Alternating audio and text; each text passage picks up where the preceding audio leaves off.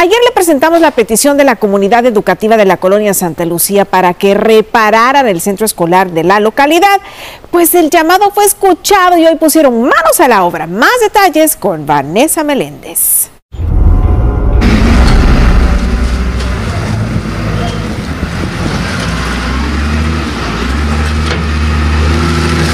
Así amaneció este viernes el centro escolar John F. Kennedy. Los trabajadores del Ministerio de Obras Públicas llegaron desde tempranas horas para iniciar labores de limpieza y restauración en las instalaciones del centro educativo. Estoy agradecida y externo en nombre del Consejo Directivo Escolar, en nombre de los padres y estudiantes del Centro Escolar John F. Kennedy, en nombre de la comunidad educativa eh, externamos nuestro agradecimiento y creemos firmemente que todo lo que hacemos es para el beneficio de nuestros estudiantes. Así que agradecidos estamos eh, y agradezco al ministro de Obras Públicas porque fue efectiva la respuesta.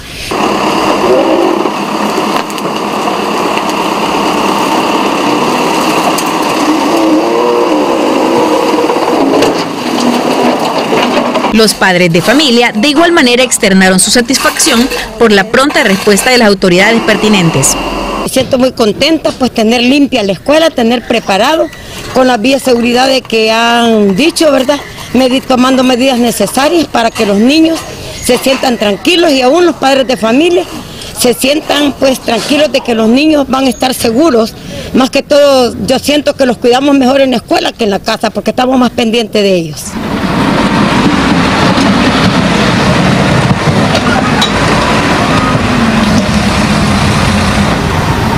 manera se prepara el Centro Escolar John F. Kennedy en Ilopango para recibir a sus alumnos este próximo 6 de abril.